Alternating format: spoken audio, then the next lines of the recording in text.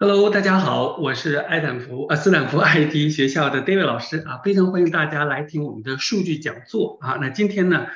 主要跟大家来分享一下哈，那么数据科学啊职场发展的这个趋势啊。那么之所以选择这个话题呢，因为总是有一些这个朋友啊，特别是最近哈，那么经常向我们咨询啊，那么以他个人的教育背景，是否能够啊从事跟数据相关的工作？啊，那么当然，特别是前一阶段哈，那么我们也知道很多大厂裁员啊，包括最近的像这种什么 AI 呀，特别是这个 Chat GPT 的出现哈，那么很多啊朋友也在担心哈，是否这个数据方面的这个工作哈比较稳定啊？换句话说，是否还能够哈比较容易的找到数据方面的工作哈？所以呢，今天我会从这个我们。呃，这个实际工作当中的这个数据啊，工作的这个要求也好，它的这个 job title 也好啊，跟大家来聊一聊哈。那我们主要分下面这几个方面的内容。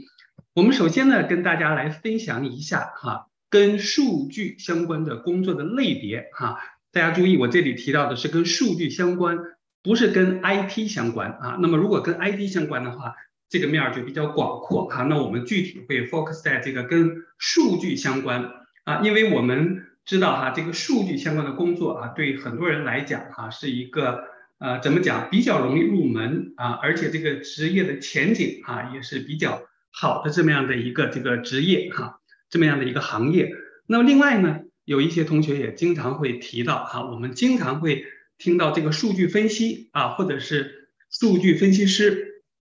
那么有的同学呢，也这个提到哈，现在也讲一些什么数据科学。那到底数据分析和数据科学啊是种什么样的关系啊？我们也来简单的哈给大家这个来看一下啊。那么当然，所有的跟数据相关的工作啊，肯定是要离不开我们的这个数据环境或者是数据架构啊。所以一会儿我们会给大家展现哈，在一个这个团队当中，或者是在一个企业啊这个当中，它的这个企业级的数据环境和它的架构是什么样。那通过这样的一个数据环境和架构，哈，大家就会很清楚的了解。那么你要做数据相关的工作的话，那可能你要了解哪些的数据技能啊，了解哪些方面的这个知识啊，这是这样的一个这个情况。呃，另外呢，啊，大家最关心的哈，那就是说这个数据分析啊，或者数据科学好不好找工作啊？那么我们反过来讲哈，那么也就是说，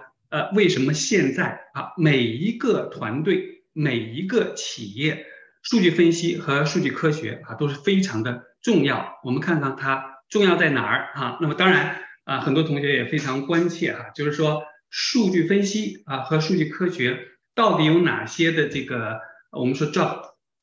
job title 哈？那么因为我们都知道每一个呃这个团队哈，每个公司它都有自己的 HR，那么它在设计这个 job title 的时候哈，其实很多的。跟数据相关的工作啊，可能要求啊都是同样的技能啊，做的都是同样的事儿，但是呢，它 job title 啊可以是千差万别的哈，所以我们也给大家来具体的介绍一下啊。那么当然啊，我们还是这个回到我们今天这个话题，就是说这个数据分析或者数据科学是不是一个好的一个职业前景啊？特别是对于我们刚刚啊从大学毕业的也好，或者是有一些工作经验。啊，过去从事其他的行业，那么想转行做数据方面工作的哈，是否是一个很好的一个职业哈？那么当然，我们最后哈来谈一谈现在比较火爆的哈这个 AI 呀、Chat GPT 呀啊，到底哈对我们数据方面的工作哈有没有影响啊？或者是说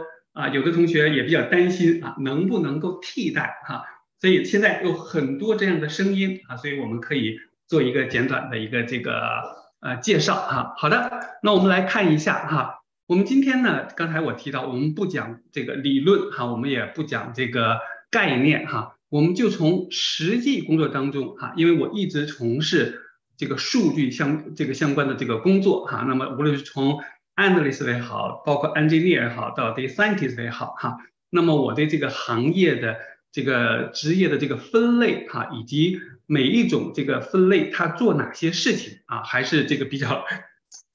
清楚的哈。从数据分析师、数据工程师、这个数据科学家啊。那么我们同学们可能最经常听到的啊，就是数据分析师啊。那么现在这个包括这个，因为之所以大家经常听到数据分析师，就是因为啊有大量的数据分析师的职位啊，特别是从入门哈，甚至一直到高级哈，那么数据分析师呢都是有很多的需求。那么数据分析师还有这个 data engineer，还有这个 data scientist 有哪些区别啊？我们来简单的分析一下哈。那么大家可以看到，数据分析师啊，他实际上呢就是要分析数据啊，并且使用数据来帮助公司啊来做这个决策哈。那么实际上啊，我们讲这个职位之所以很多，因为在公司当中啊，每一个业务团队。他无论是做什么样的决定啊，比方说有一些这个报表也好啊，或者要采取一些行动也好啊，要对一些员工进行这个 coach 也好啊，它都是要来自于对数据的分析啊，对数据的这个采集和整理哈。所以呢，数据分析师主要是 focus 在这样的一份工作啊。那么数据工程师啊，数据工程师大家可以看到，实际上呢，他就是这个往往。主主要是准备数据啊，那么也就是说，除了刚才我们说要分析数据啊，分析数据，一会儿我们看那个数据的架构，大家就可以看到，那么数据啊，从这个这个上游一直到下游啊，它经过不同的阶段。那实际上，数据工程师他主要做的工作啊，他主要就是这个准备数据啊，然后开发呀、建设呀、测试啊，还有这个维护哈，整个的这种这个数据的这个架构。那实际上，在呃这个实际的工作当中，哈，我可以这个非常负责任的告诉大家，哈，那么数据分析师和数据工程师在有些团队啊，大家注意哈，我说的是有些团队啊，并不是所有的啊。那么实际上，他们这两个有很大的一个这个 overlap 啊，也就是说，很多的团队，它虽然啊这个 job title 啊叫这个 data analyst 啊，或者叫 data developer 哈，那么实际上他做很多。这个数据工程师的工作啊，你像我现在这个团队哈，我们虽然是业务部门哈，但是呢，我们这个 job title 哈，实际上都叫这个，比方说 developer 哈，当然它分几级哈，一直到最高的 senior develop data de 这个 data developer，但是呢，他做很多的数据分析师和这个这个 data 这个数据工程师啊 data engineer 的这个工作啊，所以它有很多的这个交叉。那么从技术角度来讲，它有很多的技术啊，比方说包括像这个 data 这个 database 啊，这种数据库啊，这种 SQL 啊，这种这个 BI 的这个概念呢和一些方法呀，包括数据的可视化呀啊等等啊，他们都是做这些方面的这个工作啊，数据科学家啊，这也就是为什么我们现在统称哈这个数据科学啊这么样的一个职场。那数据科学家呢，既然成为这个科学家了哈，那么他实际上他主要是分析。和解释啊比较复杂，比较复杂的这个 数据哈，那么他们实际上啊是在对于公司整个的这个呃业务哈这个这个团队里头，它的数据的整个的一个架构啊啊，包括有的时候要做一些啊相关的哈这种啊这个分析啊大的数据集之间的一些 correlation 啊这种相关性啊，所以有的时候数据科学家他是需要我们有一些算法的知识啊。啊，有一些对大数据的这个知识啊，有的时候需要做一些 modeling 啊啊等等。那么数据分析师实际上最重要的哈，它是你对业务啊首先要比较熟啊，另外你对技术啊也要达到一定的这个要求哈。这是从啊理论上啊，我刚才提到哈，理论上大概啊在公司的一个团队当中啊，我们说这是业务部门啊。那么如果跟 IT 相关的还有一些，比方说像这个 data house 的一些。这个构建呢，包括 ETL 的这个 build 呀，啊，包括这个整个数据库的 maintain 呢，啊等等，啊，包括一些这个其他程序的开发呀，对不对？那我们这一页，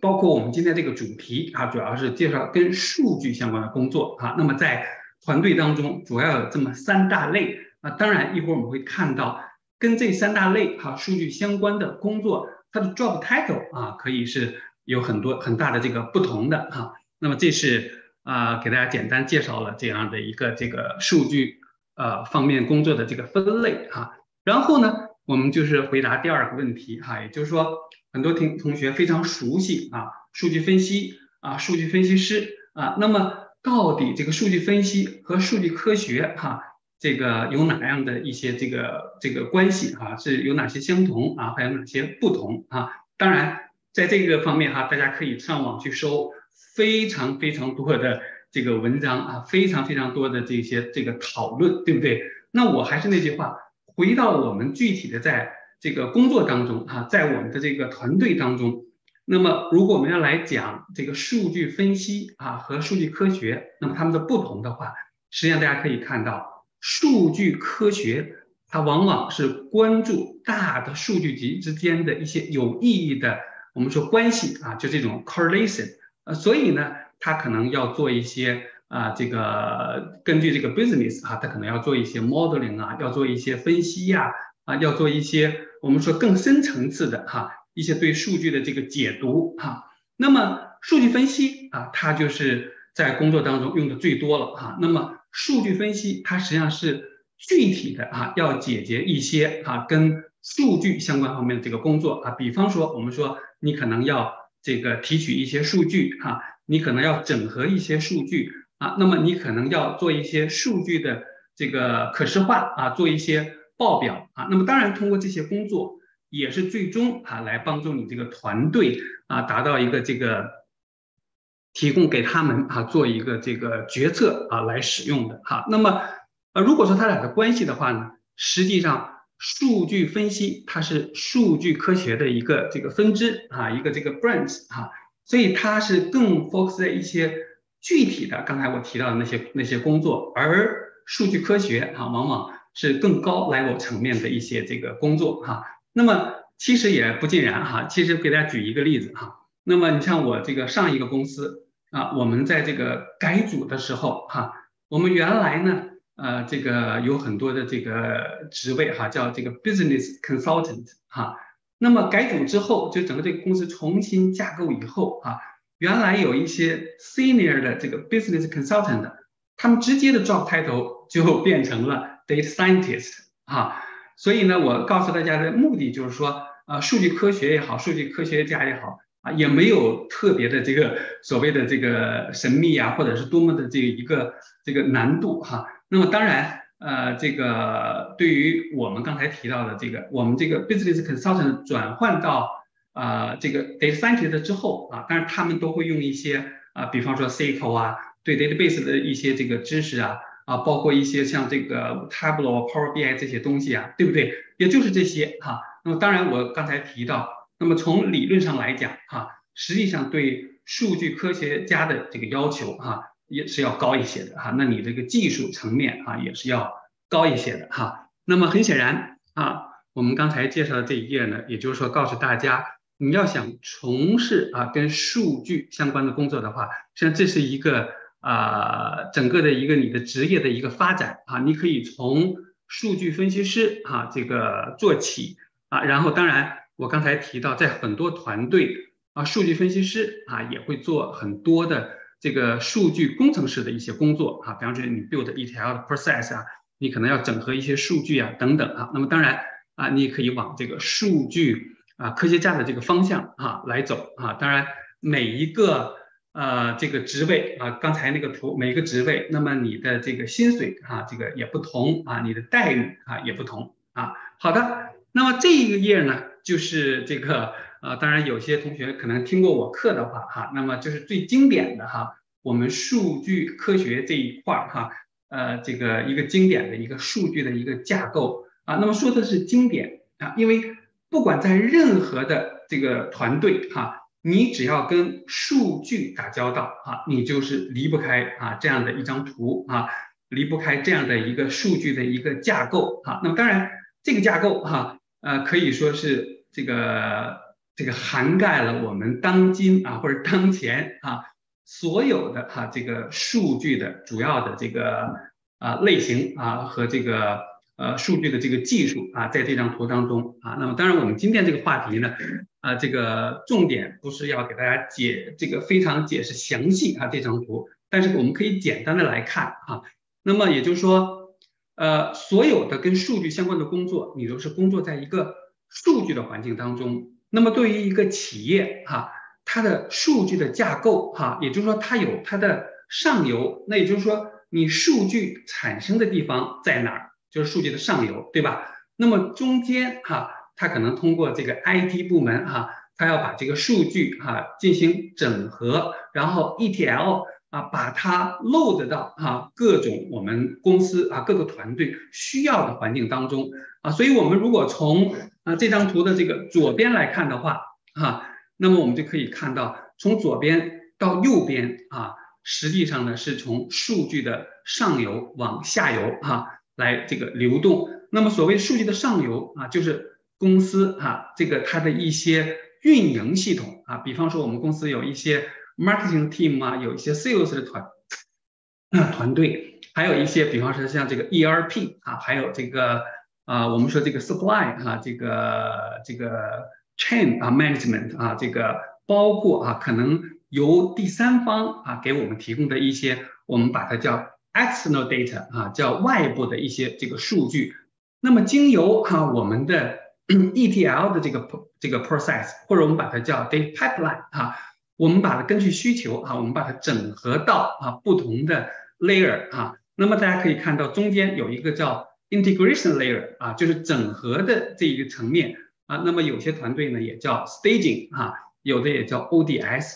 那么从整合这个阶段再加入一些啊 business 一些 logic 啊，以及根据每一个业务团队的这个不同的这个需求啊。那么它就整合到企业级的这个 data warehouse 啊，那么当然 data warehouse 啊，你这个公司可能用的是 Oracle 啊，也可能是 Teradata 啊，也可能是 SQL Server，还可能是 IBM DB2 啊等等。那么到了数据仓库这一块儿啊，它实际上是 centralized，就是把你公司的各个部门的数据都集中到这么样的一个地方啊。那么当然，我们公司会有很多不同的业务部门，对不对？那每一个部门它使用的数据，实际上只是这个 delivery house 的一个子集哈。那么比方说我们是啊这个 marketing 部门，那我们只用到 marketing 的数据啊，有可能我们会用到这个 HR 方面的这个数据，对吧？那你是 sales 部门啊，你可能就用到 sales 部门。那这时候怎么办呢？这个时候就是说，如果啊，你这个业务部门如果有能力啊，有能力是指两方面，一方面是有这方面的这个这个技术人员啊，那实际上一会儿我们提到就是我们的数据分析师啊和这个 data engineer 还有 data scientist。如果你有这样的架构的话啊，另外你还得有这个 budget 啊，你还得有钱啊，因为你要 build 自己的一个啊 data mart 的话，比方说你坐落在 SQL Server 啊或者是 Oracle 上。那你要买这个 physical 的设备哈，然后你还得要有这一些这个软件的这些 license，对吧？所以这样的话呢，把数据啊从 data house 这个抓取出来哈，我们把它放到不同的 data mart，data mart 啊，这样的话呢，那么到 data mart 以后，这个数据实际上就经过了几层的整合，对吧？那么实际上到 data mart 这一层，我们已经加入了很多的。business logic 啊，就是业务方面的这个逻辑啊，所以这一点是很重要的。那么只有加入了业务部分的逻辑，这个数据才能最终啊符合我们这个团队来使用啊。然后呢，当然你的数据到这个 data mart 之后啊，那你更前端的啊，可能你有一些 business analyst 呀，你有一些 performance analyst 呀，或者是你的。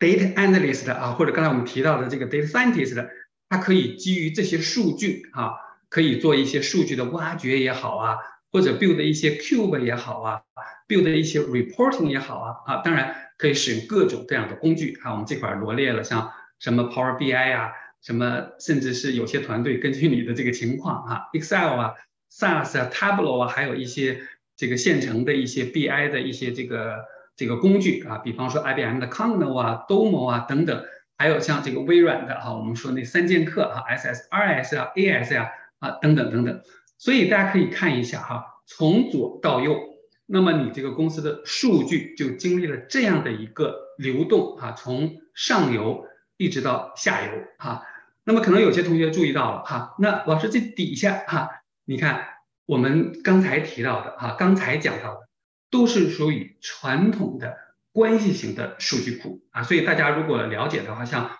Oracle 啊、Teradata 啊、SQL Server 这些都是啊传统的关系型数据库啊 （relational database）。那么好多年前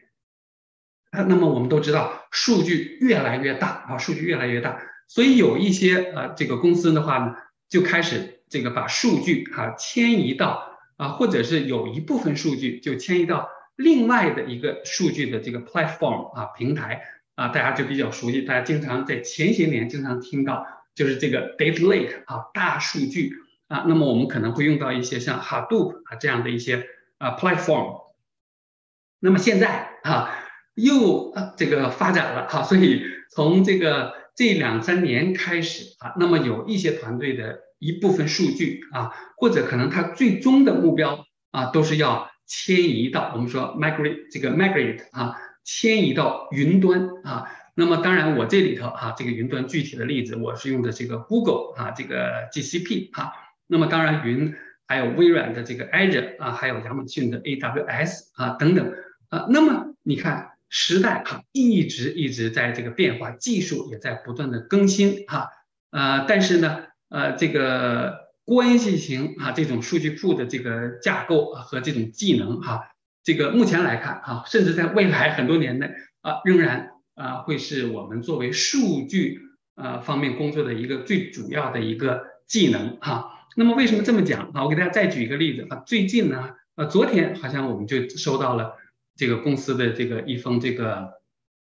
通知哈，就是我们的 data lake 啊就要这个 discommission 啊。那么曾经啊，大家啊都知道这个 data lake 哈发挥了很大的这个作用哈，因为呃随着这个数据的增加，关系型数据库。它只能存储二维的数据，对吧？我们把这个数据整合成这个行和列，对不对？那当然有很多的这个非这个二维的数据啊。我们说二维的数据，我们也可以把它叫这个 structure 啊，结构化的数据。那么也有很多的这个 unstructured 啊的这个数据，对不对？比方说啊，我们说一段声音也好，一段视频也好，对不对？那那时候我们就用这个 data lake 啊，Hadoop，我们把所有的东西。啊，就往这个 data lake 里头放，对不对？那现在啊，又要往云端来走了，因为 data lake 哈，呃，这个这个大数据 Hadoop，它也是啊，要求公司要买这个 physical 的 server 啊，它不，它只不过是这种 server 就非常分布的这个 cluster 哈，分分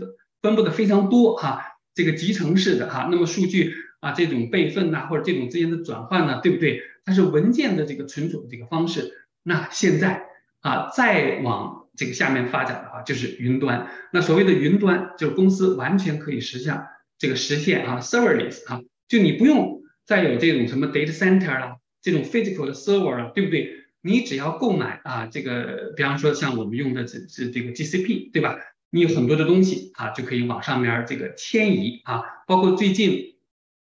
我们的团队哈，有这个 Tableau 哈，Tableau 这个 server 啊，现在。也把它迁移到这个 GCP 上啊，所以这个也很有意思哈。但是呢，我刚才强调的，实际上关系型数据库啊的一些概念啊，包括一些什么什么这些这个，比方说 database 的这个 normalization 呐，这些 OLAP、OLTP 呀啊，包括这个 primary key、foreign key 啊这些东西哈，仍然在我们的这个云端哈来使用。我给大家举一个简单的例子哈。那现在我们用这个 GCP 啊，我们 GCP 里有很当然有很多的这个 component 啊，有很多的这个部这个这个我们说部件或者很多构成，其中大家可能有同学可能听过这个 GCP 哈，就是有一个叫 BigQuery，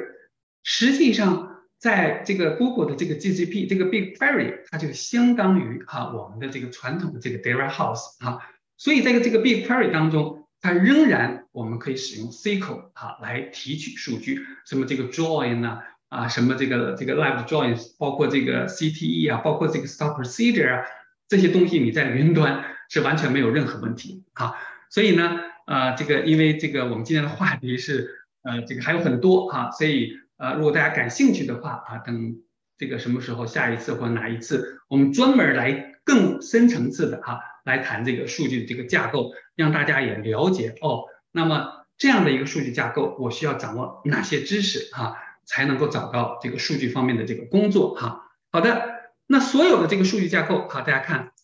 我们哈做跟数据相关的这个工作的话，主要是集中在啊这个我红线啊框框出来的这个数据的这个环境。那么大家也就很明显。那么从数据的走向来讲，我们跟数据啊相关的工作，主要是工作在数据的中下游啊。那么中上游哈，或者是上游和中游，就像 data house 啊这块这这一块，实际上就是呃企业的 IT 部门来做啊。所以呢，他们就是跟 IT 相关的工作。那我们跟数据相关的工作哈，在我的。这个介绍当中哈，在我这个课程当中，我经常告诉我们的这个同学啊，实际上啊，我们做数据关这个呃相关的工作的话呢，我们是在业务部门啊，但是我们干着很多技术方面的活儿啊。所谓技术方面的活儿，我们就跟数据打交道啊。但是同时呢，我们要对数据呃这个业务啊还要有一定的这个了解。那这也就是后面我们会提到，为什么数据分析师也好啊，数据科学家也好。那么你在公司当中干的时间越长啊，你的价值就越高啊，因为你不仅仅是这个技术啊，那么你还很了解啊，你这个业务，而且很多业务是不适合外包的啊，这也就是为什么跟 IT 相关的工作啊，现在反倒这个这个形式哈，没有这个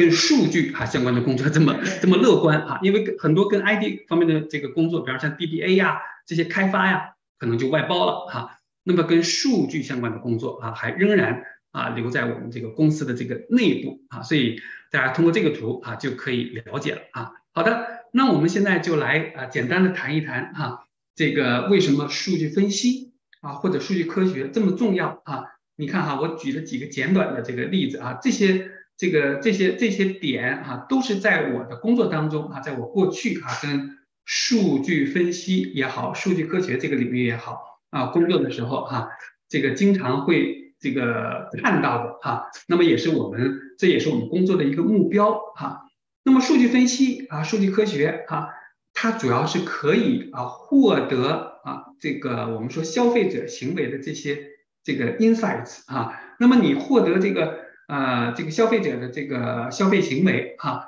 那对你当然有好处了，对不对？因为你分析通过分析它，那你可以这个来决定啊，公司决定，比方说会出什么样的产品啊，会会定什么样的价格啊，然后呢，呃，这个哪些需要哪些的这个服务啊，这些都是需要考虑的哈。另外最主要的哈，那么在数据团队啊，在业务部门啊做数据工作，最主要的实际上就是要把数据。转换成可以行动的这些信息，所谓的行动的信息哈，我们说的简单一点，实际上就是各种各样的报表哈，有一些什么 scorecard 呀，有一些 dashboard 呀啊等等啊，来供这个你的这个决策者，包括你的这个 stakeholder，还有你的需求者哈来使用啊。那么另外呢，通过这些分析哈，通过这一些呃什么 KPI 呀，一些 metric 呀。那么你的决策者啊，比方说你的 director、你的 manager、你的 VP 啊，就会非常有效的啊做一些决策啊。那么当然，我们现在也可以通过这个啊数据分析啊，甚至数据数据科学里头的一些啊 BI 的知识啊，或者是一些现在有一些 AI 的知识，我们可以获得一些这个销售和市场方面的我们说 intelligence 啊，就是比方说我们可以预测一些这个 trend 啊，或者是分析一些。这个趋势啊，等等，这些都是我们在工作当中要做的一些这个东西哈。那么当然也增加企业的这种啊，我们说生产能力哈，提高它的这个可视化啊，所以等等等等等等啊，这个这个呢这一页啊，实际上也也说不完哈。那么总结一句话，所有跟数据方面的这个工作啊，数据分析也好，数据科学也好，它实际上。是影响我们公司的方方面面啊，包括我们公司的呃这个我们说利利润也好啊，投资也好啊，这个市场份额也好啊，包括客户管理也好啊，对不对？方方面面啊，所以它是非常重要的啊。那么这一页是从啊这个它的这个本身啊，就从数据呃分析或者数据科学本身而言啊。那么我们再来看哈，对于企业来讲，为什么它重要呢？实际上它是企业内部的一个功能结构啊，这又刚回答了刚才我提的那个问题，就是说做数据方面的工作哈，这个位置呃这个职位是比较这个安全的哈，因为我们呃，刚才这个我们杨老师也这个前面也讲了很多的这个视频哈，这个介绍啊，比方说大厂裁员啊，实际上我们看大厂裁员啊，很多可能都是开发部门的啊，比方说做一些 AI 的也好啊，或者是做一些呃这个软件设计开发这些层面的哈。那么你很很少会听到哈，在一个团队当中啊，在业在一个业务部门做数据分析师的哈。啊，这个或者 data scientist 的哈会被 lay off 哈，几乎哈呃这几年啊，当然也是这个疫情，在我们公司啊，在至少在我的相关的这个工作团队当中没有啊，没有一个被材料的。但是我们确实会根据啊公司大的这个目标，我们会进行重组啊，就是这个 reorg 啊。所以数据分析师啊，数据科学家这样的职位哈，在这个别说裁了哈。其实很多团队哈还在这个有这个需求啊，还在这个招这样的一些这个职位啊。那么他呢，实际上你要想做好这个数据分析师啊，或者数据科学方面的工作啊，它实际上是需要很多的这个方法啊，包括这个呃分析呀，包括剖析这个数据啊，包括这个展示这个数据啊啊，当然是给你的用户啊，给你的 stakeholder 哈，以一种非常容易理解的这样的方式啊。我们说容易理解啊，举简举两个简单的例子哈，一个呃就是说它需要什么样的数据，那你通过你的啊这个分析啊，你通过你的数据环境，你给它抓取过来哈，你可以给它创建一个 view 啊，或者是我们说现在可以把它放到这个 GCP 上哈，那么它有权限以后啊，这些你的这个这个 end user 它可以自己就去分析了啊，这是一方面，还有一个就是你直接给它根据它的需求做一些可视化啊，比方说用。Tableau 啊，做一些报表，用 Power BI 做一些报表啊，也可以用这个啊，我们说这个 Google 的这个啊，叫叫什么来着？这个 Looker 啊，这个 GCP 这个这个 Looker 啊，可以做啊一些这个报表啊。我看到我们有同学啊已经这个提问了哈，非常好，我们稍等一下哈，等我讲完了以后呢，我们我们统一的啊给大家这个回答，嗯，好的，那我们来看一下哈。那么跟数据啊，这个这个相关的这个这个职业哈，你看看这这这个我一定要这个呃这个告诉大家哈，大家在找工作的时候哈，如果你学了一些数据分析啊方面的这个技术技能的话，你找工作的时候啊，千万啊不要只 focus 在那个 job title 是 data analyst 哈，其实我这一页列的哈。啊，这个像 data analyst、data developer 啊，data engineer、data architect 哈，还有这个 report developer 啊，report analyst 啊 table developer 啊，等等等等啊，包括啊 performance analyst 哈，一直到最后的这个 data scientist 啊，甚至啊，大家也会也看到了，还有 business analyst 哈。实际上呢，在过去啊，business analyst 大家都知道 BA 啊和 DA 实际上是有区别的。那么 BA 它实际上是啊，作为这个 data analyst 或者是 developer 和业务部门之间的一个 bridge 啊，一个桥梁啊，通过它来中间进行沟通啊。但是现在呢，实际上很多的这个 BA 它也要求你会对数据啊，比方说进行一些提取啊，一些一些整合呀。所以我们有很多学员啊，虽然最开始的出发点哈是奔着这个数据分析啊、数据科学这方面来的，那实际上最后找到工作的话呢？有我们有一些同学做了 BA 啊，呃或者做了 BSA 啊，就是这个 Business System Analyst，或者做了一些这个这个 BA 哈，所以 BA 现在这个团队的这个对毕业的要求啊啊也不像以前哈，实际上他在你要求你懂这个 Business 的这个同时啊，你也要懂一些啊像数据库啊，这个像 SQL 啊啊这些东西啊，所以啊大家呢。一定要看哈你的这个呃 job description 哈，那么如果他列的这些要求啊，你能够 match 大概百分之六七十的话啊，你就可以申请那个职位了啊，因为我们说啊每一个团队啊，他都是想要一个这个全能的人才。如果你看甚至一个 junior 的 data analyst，他要求都很多哈。我们说，当然作为企业来讲，他雇人总想用最少的。啊，我们说预算来找到最完美的人啊，但是这个很抱歉哈，在 真实的生活当中啊，他这个工作当中啊不太可能哈，所以我们看这个 job 这个 description 的时候，我们大概 match 百分之六十到七十的时候，我们就可以申请这个职位啊。当然，怎么样来准备简历啊？怎么样啊来这个 match 你的 job description 啊？我也有一些专题的这个讲座哈，包括我们的课程也会有这样的一些啊，这个对大家的这个帮助哈。好的，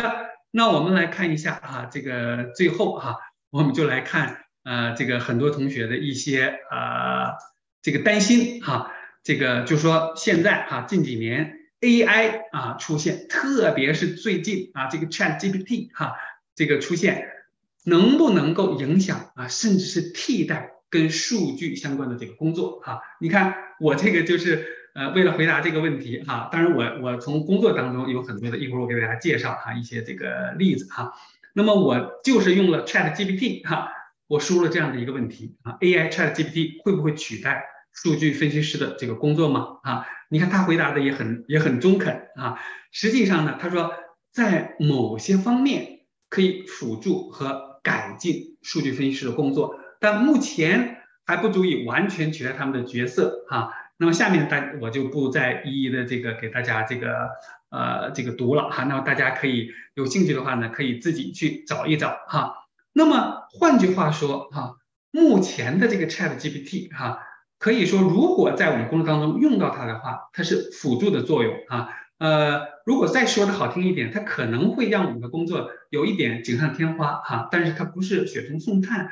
什么意思呢？就是它不会哈，就是说。我会了这个 GPT 哈，呃，这个，然后呃，这个这个 GPT 帮我这个这个这个整个的我现在这个在团队当中的这个位置啊，这个职位，它全部都能代替，这是办不到的哈。那么呃，很很多同学也听了一些这个讲座啊，自己也看了一些文章哈，那么也知道 ChatGPT 确实在有一些团队啊当中啊。也用到了一些，那我给大家举一个简单的例子哈。那么，呃，用的最多的哈，可能大概有这三个方面啊，用的最多啊。目前来讲，用 ChatGPT 在工作当中，第一个哈，呃，可能特别是对于我们华人来讲哈，就是哎，ChatGPT 可以帮助我们啊，这个写一些 email 啊，或者是 summarize 一下啊，我们的一些这个 presentation 啊，比方说啊，当然这个前提是。我们得有若干点了哈，比方说，我就我就试过这样的，我写了一个 email，我说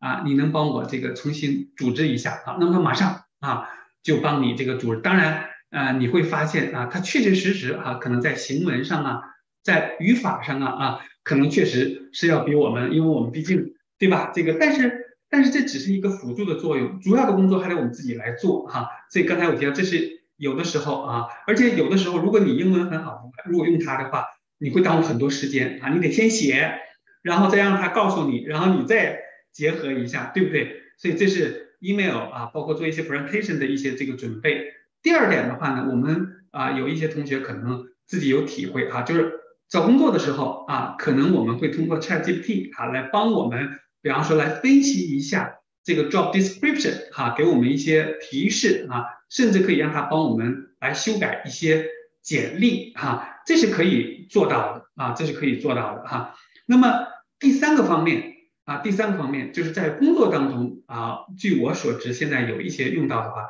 那可能就是帮我们写一些 code 啊，帮我们写一些 code。但是啊，我不知道其他的呃公司或者团队怎么样，但是在我们公司啊，这个大家这个大家一定要这个知道。就是凡是涉及到 AI 的啊，包括云端的啊，这种特别是 ChatGPT 这种东西哈，这个公司对它的这个 security 啊，就对它的安全性要求的特别高啊。这也就是为什么我们公司很多的数据现在还无法迁移到云端啊，因为你一迁移到云端，这个数据哈就不受你公司的这个，当然你你跟 GCP 也好，跟微软已经很多协议了啊，但是基本上就不受你。这个公司的这个主要的这个控制，对吧？你过去你的数据，我们说 on-prem 啊，实际上它是你公司自己有这个 data center 啊，你有这个 physical server 啊，你有 DBA，你有架构师啊等等啊来维护，所以你是有防火墙啊等等等等。那么你现在的话，所以你现在我们用啊 GCP 的话，我们公司啊也有一个叫这个 BI 的一个层面啊，也就是说，在用你的这个 GCP 的这个这个 Data Hub 和呃你这个自己团队的数据之间啊，你要有一个 BI 的这个层面。啊，这个 BI 的层面，你你你所有的开发都是在这个 BI 的层面啊，你不能直接啊，比方说你这个 access 到这个 GCP 的很多这个东西，这是不可以的哈，所以这是它的安全性。那再回到我们这个 Chat GPT 啊，我们公司最近哈，刚刚跟这个微软哈这个合作，就是微软专门为我们公司打造了一个就我们公司版的这个 Chat GPT 啊，它专门有一个名字啊，当然它实际上就是我们公司版的这个 Chat GPT。为什么这么打打造呢？啊，它就有两点，第一点啊，就是我们在公司当中啊使用我们公司版本的 Chat GPT。我们所有输入的啊，比方说我们查一些资料啊，或者是让他给我们做一些 code，这些信息啊是不作为啊我们说那个 Chat GPT 它的 training source 的啊，也就是说这些数据啊，这个 Chat GPT 公司是不能拿到他们那儿做这个 training 的啊，所以这是很重要的啊。另外的话呢，刚才我们提到，我们很多的这个。像这个数据和 code 啊，在使用的时候呢，只是限于我们自己版本的 Chat 这个 GPT 啊，所以这是呃公司从这个安全的这个角度来考虑。所以大家呢，再回到我们这个话题，所以大家根本就不用担心啊 Chat GPT 哈这个对我们这个工作的这个影响。而且换另一个角度来讲，我们也没必要担心，因为我们总要去工作啊，生活总要继续，对不对？所以如果我们一旦啊，这个选择好了自己的方向以后啊，那我们该学什么学什么，该找工作就找工作哈。任何时候啊，任何困难的时候，我们总会有一些同学哈，能够啊找到这个理想的工作啊，甚至可能还拿到这个两三个这个 offer 啊，这都是可能的。当然，跟我们的这个啊同学自己的努力呀啊，包括整个这个学习过程当中的付出啊啊，都是有关系的啊。所以这就是我今天哈。主要要跟大家分享的这个话题啊，我们就看一看这个数据科学职场的这个发展趋势啊，到底是一个什么样啊？那么呃，通过这个呢，我想传递给大家，就是啊，如果大家这个在比方说大学刚毕业也好，或者是有其他的呃行业想转行做数据方面的工作的话啊，是一个非常不错的一个这个选择哈。好的，那我们来看一下我们同学。啊，这个这个朋友们有哪些问题啊？啊，我们有一个同学问哈，说做数据分析师啊，大学要学学什么专业啊？这个问题非常好啊，也是很多在想做这个啊数据分析师啊，这个这个这样的朋友啊，他们一直很这个呃关注的一个这个问题啊。那么我可以这么告诉大家，从啊。呃，我们过去这么多年的哈，这个我们说这个这种这个培训哈，来帮助我们大家哈，来找这个数据方面的工作来讲，我们的学员哈，从我们的学员来讲，这个专业背景太这个丰富了哈。我们有这个啊学文科的啊，比方说有学语言的哈，有学这个比方说有学英文的哈，我们还有学这个地理的哈，然后呢，我们也有学这个哲学的哈，然后当然我们。呃，更多的一些哈，也有一些，比方学啊，我们学学这个这个数学啊，学统计，学工程哈啊等等啊，这些都有啊。那么呃，我们刚才这个同学这个问到，就是大学要学什么专业？其实啊，这个专业啊，那你说呃，如果我学 computer science，会不会有一有一些优势啊？肯定啊，在某些职位上啊，可能他会看重你这个这个，比方说 computer science 啊，或者是数学啊。但是呢，你大家看这个 job 这个 curriculum 的时候啊，大家都会发现，他说 computer science 或者是啊 relevant experience 啊，或者是相关的经验啊。那么也就是说，如果你是呃其他的这个不是他要的或者他理想的那个呃专业这个背景的话，那你有相关的这个呃经验哈，那么你当然完全也没有问题。而最重要的就看你的这个简历和面试哈，所以这是很很重要的哈。所以大学学什么专业啊？我觉得对于数据啊行业来讲啊，并不重要啊。那么最重要的就是说，你选定方向以后啊，要学哪些的知识，要获取哪些的经验啊，然后你这个很好的准备你的简历啊和你的面试啊，这是最重要的。啊。我们来看一下，还有一个问题哈，就是说呃，我没有任何的 IT 背景哈，那么学习数据分析需要多长时间呢？哈啊，没有背景啊，简历啊怎么写呢？啊，这也是很多同学对非常这个呃实际的问题啊，也是关心的问题。那就是说我我到底能不能学？呃，需要多长时间来学？学完了以后哈，呃，我真的没有这方面经验，那我简历怎么来写？能不能？呃，这个找到拿到面试的机会，或者是最终拿到这个 offer 哈，那么还是那句话啊，用数据说话的话，就是我们在过去这么多年的这个啊学员当中哈，那刚才我上一个问题已经回答了哈，学什么专业的都有哈，我们也有这个大专毕业的，然后一直有啊这个本科，我们还有硕士，我们甚至呃这个有很多的博士生啊，那么他们学化学啊，学 chemical 啊啊这个学这个药啊，那么他们在最后。啊，工作不是很理想啊，那么最后选择做数据分析啊，当然他们的呃这个这个底子比较好啊，那么他们可能学的就会快一点啊。那么回到这个问题上哈，没有 IT 背景没有问题，学习数据分析大概需要多长时间？呃，如果大家还能想象到我们刚才的那个数据架构那个数据环境的话，对不对？因为你要做数据分析，你就要跟数据打交道，你要跟数据打交道，你要学学习。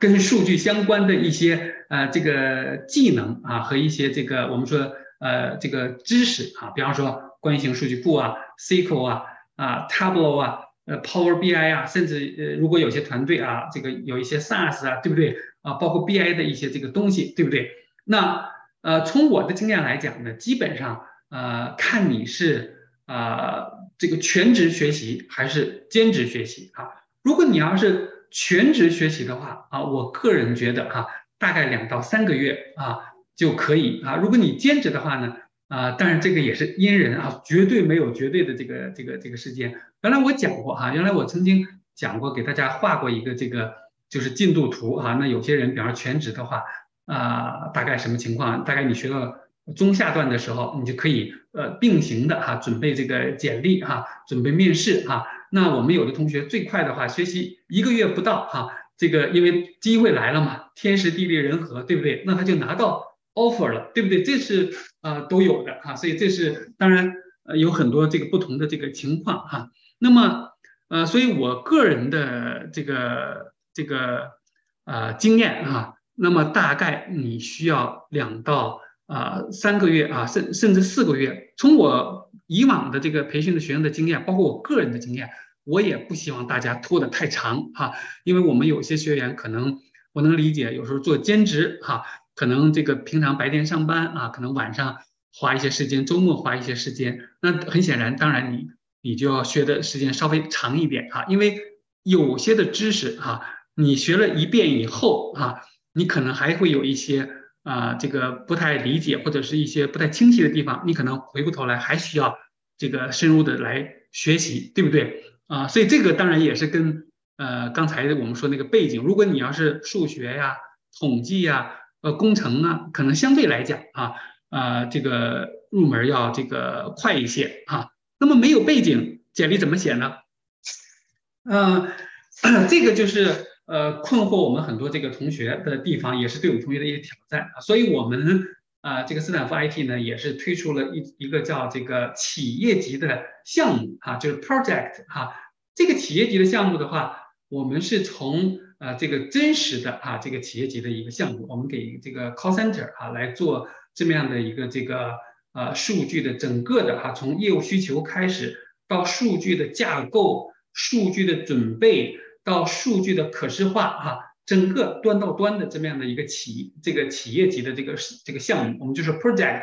那么这个 project 的话呢，啊，你可以这个不仅仅把我们的这个把你的这个所谓的知识的这个碎片啊，把它这个糅合到一起，更重要的就是说，你不仅了解了数据的流程啊，就刚才我讲那个图啊，数据的流程，你要知道啊，面试的时候你要知道你的团队数据是从哪来的啊，到你这怎么处理。啊，下游怎么样用这个数据啊？甚至你就是中下游，你还你整理完数据以后，你还要用这个数据，对不对啊？那么同时你还要了解业务流程，就是这个 business flow 啊，这是很重要。那 business flow 的话呢，那么我们很多同学刚才提到，哎，那我大学刚毕业，或者是我转行，原来做制造业的，那现在我要做数据了哈，那怎么样有这个简历？呃，怎么样写这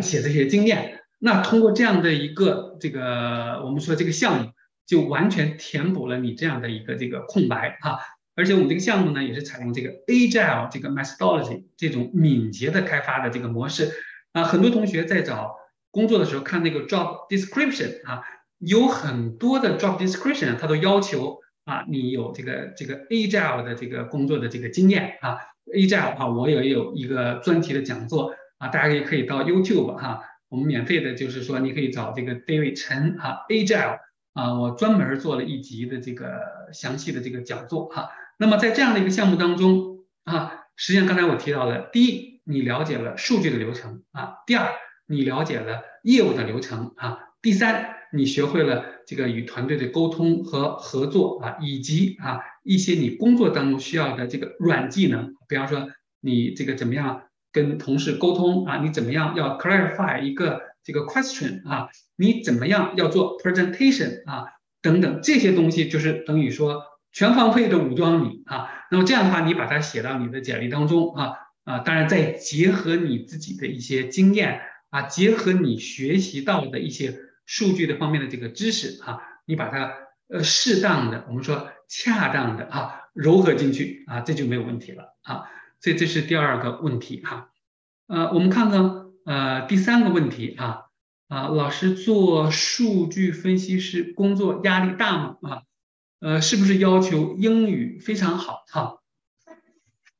那么，呃呃，压力大不大的话，呃，这个怎么来讲哈？这个也看团队啊，也看团队。但是总体上来讲啊，总体上来讲啊，刚才我不是说了吗？因为虽然我们是在业务部门啊，但是呢，我们更多的工作啊是跟数据打交道啊。那换句话说，我们这个技术方面的这个工作呢，会。多一些哈，如果比方说我们啊这个这个在在技术开发的过程当中啊，比方说你在啊架构一个 database 也好，或者你在做一些数据的整合也好啊，你有哪些业务方面的不清楚啊，那你有 BA 啊，你有 business consultant 啊，你有这个 project manager 啊，你都可以来进行这个这个沟通。所以呃，我觉得这个压力呢。呃，怎么来讲？跟我们过去的同学来聊聊的时候呢，呃，基本上哈，我觉得是没有什么压力啊。那当然对我个人来讲是没有什么压力。如果说有压力的话啊，如果说有压力的话，那也是自己的压力啊。比方说，我最近啊，就在这个啊帮助团队架构一个啊这个这个这个数据的 data pipeline 哈。啊，那么，那么我们这这这块的环境呢是这个这个 Oracle 哈，那么对方的环境呢是 Snowflake，而且这个 Snowflake 呢，它不是由我们公司，它是第三方的这个公司啊，我们刚把这个公司买过来哈。那实际上我们用传统的哈，在我们课程当中，原来我讲过这个 SSIS，用 SSIS 啊，可以很容易的哈，比方说我们先建一个呃 ODBC 哈，然后这个这个这个 connector 啊，就是用 ODBC 来连接 Snowflake。然后我们在 SSIS 这块啊，我们 build 一个 package 啊，那么我们通过这个 ODBC 啊，一端连接 Snowflake，一端连接的这个 Oracle，就搭了一个桥梁，就可以把数据拽过来啊。但是现在我们的团队呢啊，不想用这个 SS package 啊，他只想用这个啊一个 batch file 啊，这个就是把它抓过来。所以现在我倒是不是压力，倒是觉得很有很有挑战哈。所以我这两天正在做这方面的这个 research，现在。ODBC 我也建了，然后呢，用 PowerShell 哈写在一个 batch file 里头哈，呃，来抓取它，哎，也抓取成功了。但是呢，这个成功哈，我比方说我运行了二十次啊，它可能只成功了两次啊，为什么呢？就是因为 Snowflake 那边数据太大啊，抓过来呃就是比较这个 time out 啊，所以我现在正在 search 啊，正在 figure out 到底是通过加一个什么命令能把这个问题解决哈。所以说这个压力哈大是呃看怎么来看啊，所以我觉得这个呃你只要掌握了这些数据技能啊，应该说呃没什么压力啊。那么是不是要求英语非常好？那刚才我已经提到了，就是说啊我们呃，这个是工作在业务部门，但是我们主要是跟数据打交道，我们偏技术啊，所以这就是我们数据分析师或者是 data scientist 的这个好处。我们既在业务部门，但是我们又干着一些技术方面的这个活儿哈。所以英语哈啊，当然你好，那可能你有一个 benefit 对吧？可能你平常开会呀、沟通啊，对不对？可能会显得很轻松啊，跟这个这个这个，这肯定会对你有益处。但是你说我英语不好的话哈。呃，对于工作来讲没什么影响啊，我觉得没什么影响啊啊，当然你这个英语不是非常好啊，那我们说一般啊，也就是说你我们在这边呃，这个我们念过大学，我们到这边又学了一些语言啊，这个语言啊，这个是没有任何问题的啊，是没有任何问题的，所以这是啊对这个问题的回答。嗯，我们还有没有什么问题？呵 呵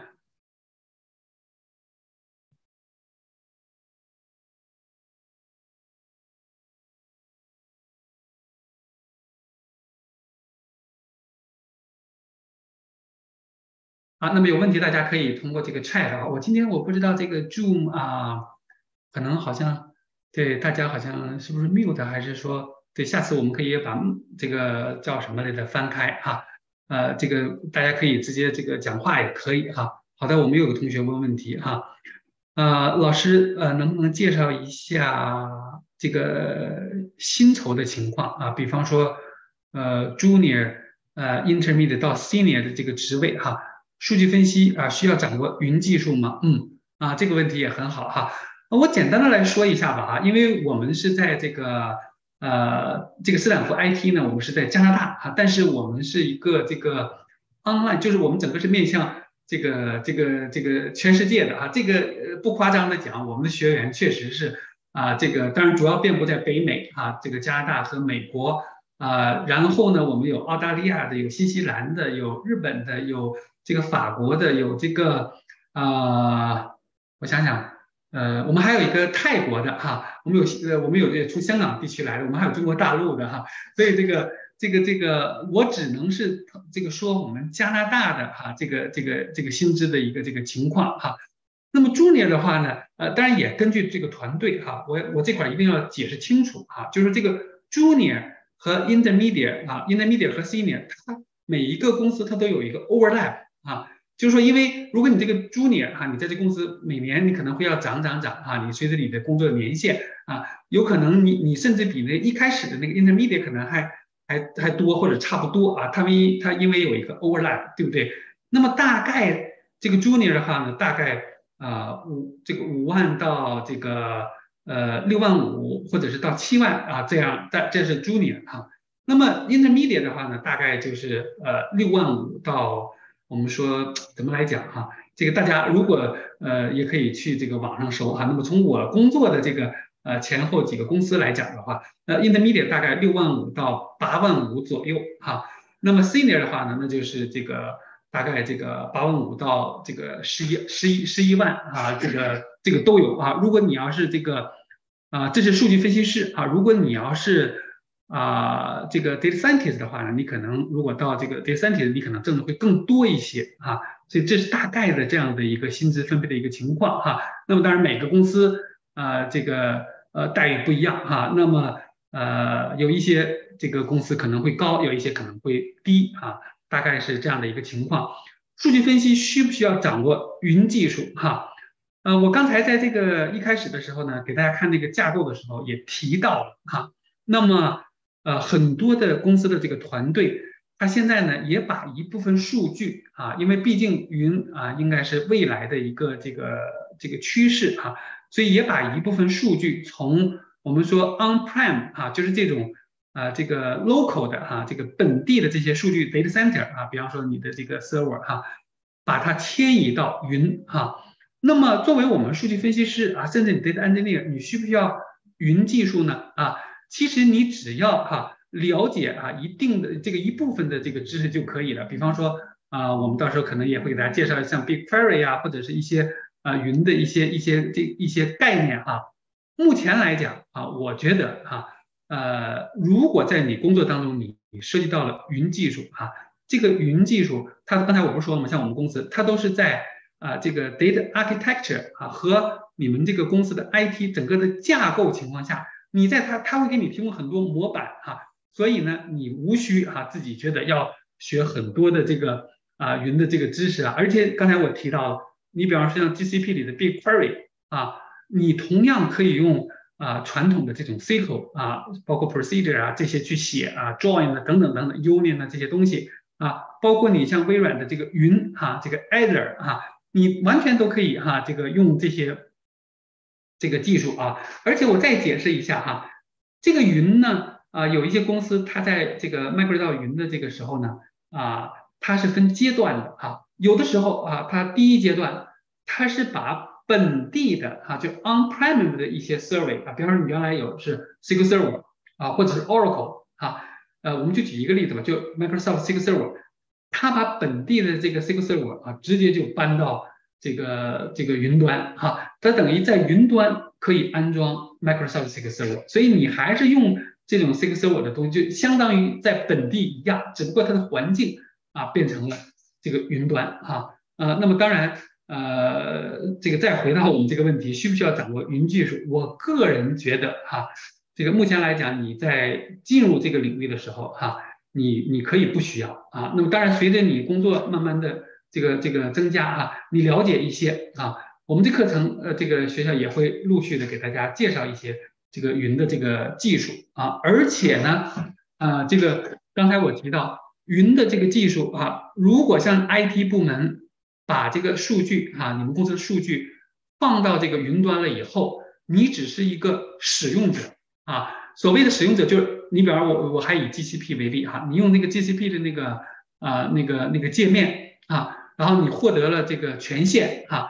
然后你到哪一个这个 project 下面，然后你就点那个 table 啦，对吧？你就可以直接你写 select 语句你就可以了，所以无需哈，大家不用担心哈，要过多的哈，目前这个情况下要怎么来学？当然你有时间哈，我我不反对哈，你可以学习一些掌握一些这方面的这个技术啊，甚至等你将来有时间，你可以考一些这个，比方像 GCP 啊，有一些证书啊啊等等啊，呃，我是。我是今年还是去年啊考了这两个这个证书啊，这个这个已经已经这个考下来啊，但是呢，工作当中仍然是以传统的这种 on-prem 为主啊，那么云端啊只是刚刚起步啊，这这是呃对这个问题的一个回答。嗯，还有问题吗？啊，好，呃，那非常感谢大家哈，那么今天我们跟大家这个就是。聊了一下啊，数据科学职场的这个发展前景啊，当然我们在一开始的时候我已经提到啊，这个话题呢实际上很大啊，那么我们把它落实到这个实处哈，我们让它更接地气的话呢，就是以我的工作经验啊和我对这个呃数据领域工作的这个呃了解哈，呃给大家这个来介绍了或者是分享了啊这样的一些呃不同方面的这个内容啊，希望对大家呢。对于你们选择啊未来的一个职业方向啊，或者是转行的这个一个这个职业方向哈啊，能够起到一个这个帮助的作用啊。好，非常感谢大家，那我们也期待啊下一次好，我们来和大家来讨讨论这个不同的话题，好吧？嗯，再见。